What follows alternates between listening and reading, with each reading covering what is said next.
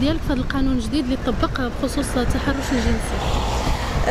بخصوص القانون ديال التحرش الجنسي هذه واحد المسألة مهمة بزاف. ولكن قبل قبل ما يطبق تكون واحد التوعية ديال الشباب والشابات باش يوعوا أنه كاين هذا القانون آه، باش هما بيدهم يعرفوا الإجراءات اللي غيتاخذوا وفي نفس الوقت يعني حتى واحد ما يتظلم لا الشباب ولا الشابات.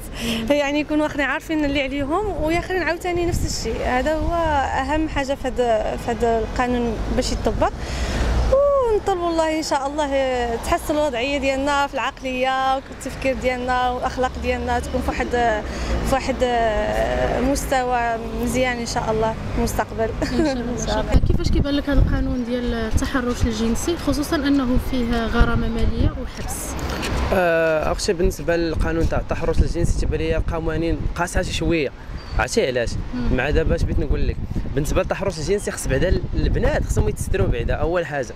فهمتيني دابا اش بغيت نقول لك؟ هو مزيان هذا القانون هذا باش ينقص من التحرش وينقص من بزاف الحوايج.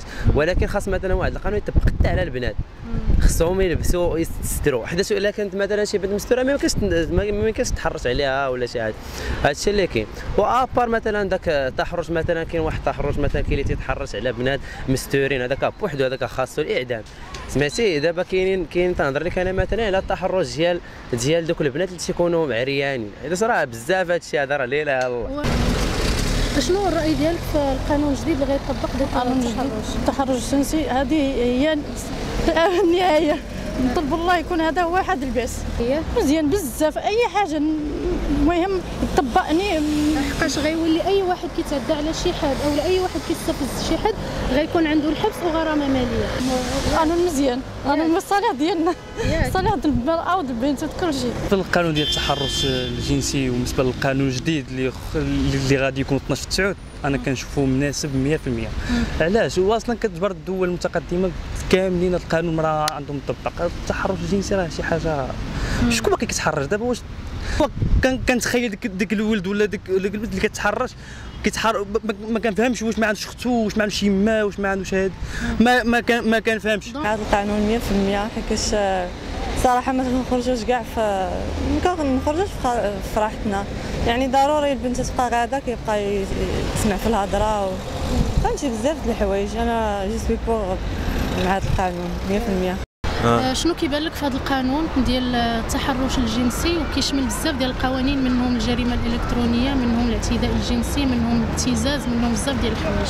الصراحه هذا قانون مزيان. كان ناقصنا كان ناقصنا بحال هاد القوانين هادو بحيث في الانترنت كاين بزاف الناس كيستعملوها باش كي كيسرقوا الناس ولا كيشوفوا شي مصالح ديالهم اللي مخلة بالحياة ولا مخلة بالقانون.